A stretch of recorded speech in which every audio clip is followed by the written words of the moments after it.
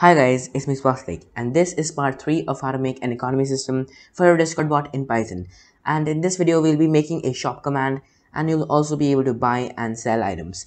So let's start. So the main shop will be a list of dictionaries and each dictionary will have the data for an item. And each item, so let's make a list. So each item will look like this. So a dictionary, so the name will be, for example, watch right? And then the price. And then so 100 coins i guess. And then the description will be i don't know time. So then we can simply copy this and put it inside of this um, main shop. I'm just actually have something already made. So this is how you'll do it now have each of these um, dictionaries separated by a comma and make sure there's no comma in the last one. So it's simply a list right? Opening a square bracket closing a square bracket and separating each item with a comma. And you can just change the name price and description. And this is the main shop now let's actually display this data now I just have this which is simply client or command then shop. Let's start. Now one thing you could also do this through a JSON file as well and then you could just update that but I'm just gonna do it like this. So let's make the shop now. Now in shop we will make an embed. So the embed will be discord embed. And the title will be simply shop now we need to loop through everything in the shop. So for item in the main shop we'll say um, the name is the item name. Then the price will be you just copy this because it's going to be almost the same. So name so the price will be the price items price and the description.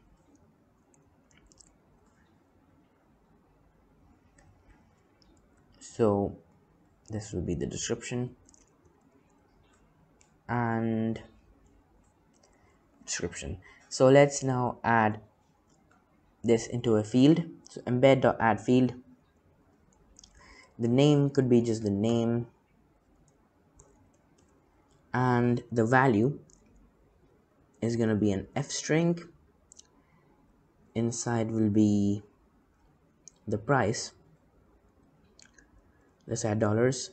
So price and the description. So let's now then we'll send it. Await ctx.send embed. So let's see if it works so the bot is ready now. Let's actually check if it works. Eshop. And as you can see it works. And you can add more items by just adding more dictionaries to this list. And let's now add the buy and sell commands. So i wrote all the code. And if you don't want to write this you can simply go to my server and i'll post all the code there. So you can copy from there. And i'm just going to explain everything in this so in the buy command we will take the item name and the amount is going to be defaulted to 1 then we open an account for them. This is a helper function. So buy this and it simply does all the calculations. And the result is set to the result of this. So it's the user the author then the item and then the amount. Now let's see what this actually does.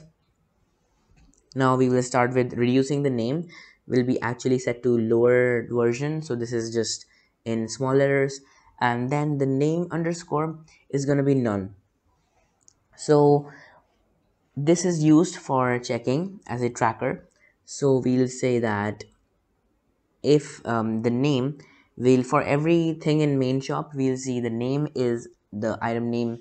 Then we lower it we'll check. If it's equal that means we found the item then the name underscore is going to be that name and the price is just the price and then we break. If this doesn't happen if we never find it it's going to remain none and we can then check. If it's still none then we can return false and 1 1 is our error code and we simply use this in res. We say if not res 0 this means res 0 is false right? So not false would be true. Then we can enter this and check here that if it is 1 then that means the object wasn't there. And uh, let's now continue. So inside we'll uh, make the cost. Cost is just price times the amount. Then the users will get the users. Then the balance of the user will get. And we'll check if their wallet amount is less than the cost we'll return false and 2 um, what this does is you don't have enough money in your wallet to buy that much amount and that's it. Now let's if it actually if they have that much money then we can continue. Now this is inside of a try loop uh, try block. Um, we'll say index is equal to 0 and this is another tracker. So we'll run through everything in bag. Now n is just the name of that. So n is the thing name item. So if n is equal to the item name we'll say the old amount is the thing amount right and then we can say the new amount is going to be old amount plus amount. And then the users bag index since we were using the index as a tracker as index will be increasing every time. So index then amount is going to be the new amount. And then t is going to be 1 just because it's changing it then we break. And if this doesn't happen just index will be updated every time so we keep in track now then we can check if it was none right? That means that this uh, wasn't found. The bag you already haven't purchased it before. Then we can create this object. It's going to be the item It's going to be the item name and the amount is going to be the uh, the amount. So then the user's bag we just append the, that object. Except um, if they don't have a bag that means they did not purchase anything we'll just make a bag for them and that'll be just the object is gonna be the object and we'll just start the bag as a list of the object. Then we'll just dump it. Then we will update their bank with uh, reducing that much money. Then we'll just return true and worked. So if it works then we'll say you just bought that. And i also have a bag command which simply just opens an account for them then user equals ctx.author then we get the users. We try to get their bag. If they don't have a bag that means it's just an empty list. We make the embed um, and it's gonna be for every item in the bag. The name is just the item name. This is how we write it. Amount is just amount. Then we just add a field saying name is just the name and the value is the amount. And then we just send the embed as m uh, so this is our variable name. So that's it in this um, code. Let me just run this and show how it works. So let's check. Um, e bag. I already have some watches i think. Yep i already bought i bought four watches. And if i check my balance i have 105 coins. Let's try to buy something. Let's try to buy one watch. And as you can see I bought it. Let's check if it updated the bag as you can see it's 5 now. Let's try to buy another one. I don't think we'll be able to buy it though. As you can see I don't have enough money. And that's it. So in this video I'll be just covering this much. I couldn't cover sell in this video because I'm running out of time. So in the next video I'll also be covering sell and also some other commands. So if you hit the like button if you like the video obviously hit the like button and subscribe and i'll meet you in the next one. Goodbye